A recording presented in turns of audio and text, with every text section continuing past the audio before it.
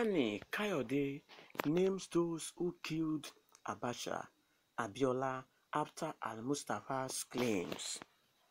Femi Fani Kayode, a former aviation minister, on Wednesday named those behind the murder of former Nigeria head of state General Sani Abacha and businessman MKO Abiola.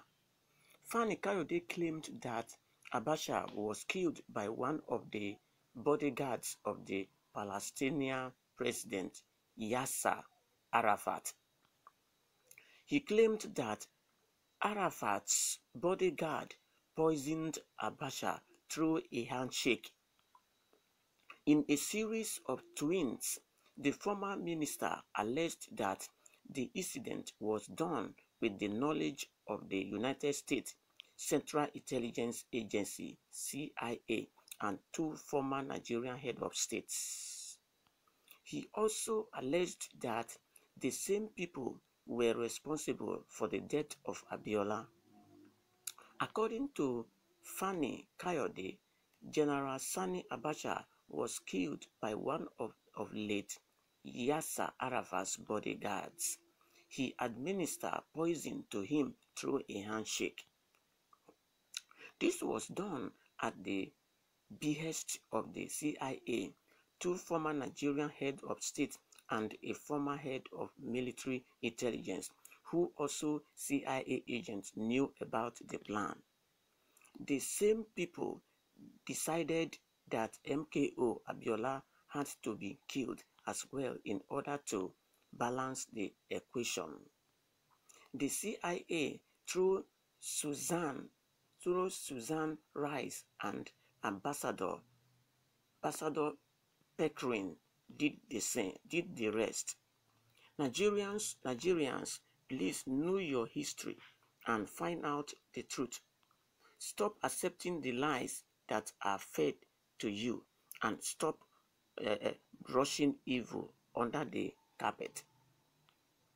Neither Abacha nor Abiola deserve to be murdered even if we did not all agree with either of or both of them.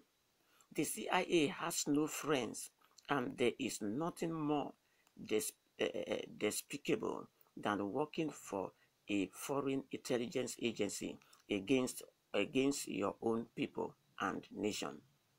Meanwhile, a former chief secretary, a former chief secretary officer of Abacha, Hamza al-Mustafa, had said the former head of state developed a brief illness that led to his death after a handshake with Arafat's bodyguard in Abuja.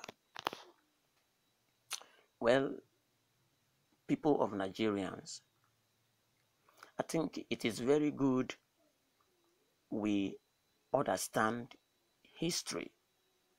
Now, when a, a head of state, General Abacha, died that time, there were whole speculation in Nigeria that it is it was a prostitute that gave him an apple to eat, and after he ate that apple, that was the cause of his death. And up till now, this is what is being believed by people that a prostitute killed him. Now, another evidence is being released that it was not a prostitute. That Abacha had a handshake with one of the bodyguard of, of Yasser Arafat. That was what led to his death. But if I may ask a question here, what is the relationship between Abacha and Arafat bodyguard? I think they might have a relationship. And why would they want to kill him? I think maybe somebody might have uh, might have caused that action to take place. Maybe in Nigerians, because politicians are not friendly and they don't love one another. That is why they say politics is a dirty game. So you might not really know why they planned this against him, but this is the way they want to take him away, and now he has died. So and then I, I don't want to I don't want uh, um, uh, Femi Fani Kayode to blame the Nigerians. This is a secret things that has take, that, that took place at that time. If you are not there, how will we? How will you have known? But even even what you are saying here now, uh, people will hardly believe because they will ask question: Were you there? How did you come to the knowledge of this? You know, many will ask this question. That means the death of uh, of Abasha is is dead. Nobody can really tell what kills him at that time. And a lot of Nigerians will be in doubt whether what you are saying is true. But a couple of days ago, uh, uh, uh, Mustafa said something closer to what you have said, of which if we, we should compare them, there is that there's an element of truth, but eh, it, it, it's very eh, difficult to believe at this time. Now, we want to see here that uh, I do not know why this history is coming out this time. Could it help to bring the insecurity of Nigeria to an end?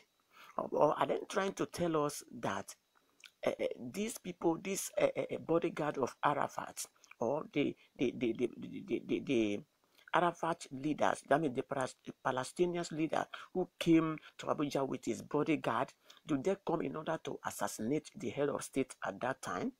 Are they trying to tell us to beware of those people? I don't know. The, eh, eh, the, the, the readers of this news has so many things to learn from these people because at that time nobody was expecting a head of state to die but, but, but, but he died and it was a shock to everybody.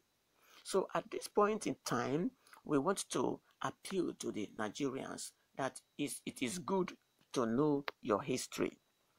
And again, I want to speak this way. When I, I believe this thing happened uh, many years ago, and uh, it was not brought out for people to know like this. One of the situation of Nigeria that baffled me is that when things are happening at that particular time, nobody will say it out. But after many years, people begin to say different things. That is why it will be making it difficult for people to believe whether they are saying the truth or not. So I am expecting that if somebody being involved for corruption, they should leak it out at that particular time not when time has gone, people has forgotten the issue. I mean, the person might have ruled and has resigned or has, has finished his tenure. Is in somewhere you begin to bring out something. And so the law might just play a little role upon him, and uh, the thing will be swept other carpet. But when it is very hot, I think that is that is when it will be very good to uh, to, to be attended to.